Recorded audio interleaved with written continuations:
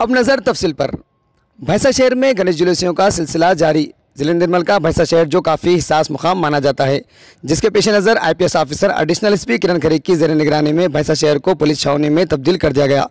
मुख्तलि मकाम मसाजिद मनादिर के अलावा अहम चौराहों पर जुमला तीन सौ पचास से जायद जवान मुकम्मल तौर पर नज़र जमाए हुए हैं।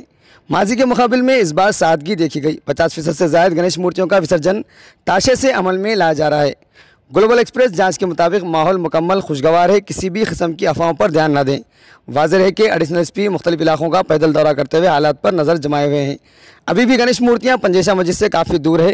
ग्लोबल एक्सप्रेस आखिरी लम्हे तक की पल पल की खबर आप तक पहुँचाते रहेगा। से हमारे नुमाइंदे, शेख अजीम की रिपोर्ट।